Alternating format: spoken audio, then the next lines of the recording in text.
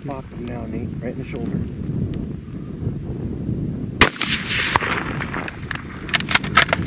Good hit. Hit him again. Good hit. Hit him. I think he went high that time. Hit him. Dropped him. That a boy. Ran down. Yeah. All right, that's cool.